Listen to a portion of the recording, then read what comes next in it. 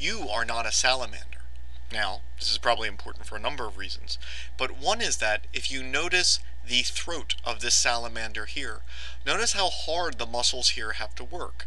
Salamanders and frogs have to draw uh, muscle uh, air in and out of their mouths through muscle contractions, which is very draining. In fact, many salamanders have just foregone lungs altogether and just do all of their breathing through their skin.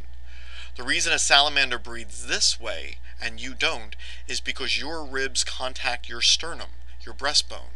And thus, when the muscles between your ribs, which we call intercostals, contract, this causes the volume of your thorax to change, which will automatically either draw air in or out. So you do not have to suck air in and spit it out with throat muscles. Instead, the muscles in between your ribs simply change the volume of the thorax, and this will draw in air in or out.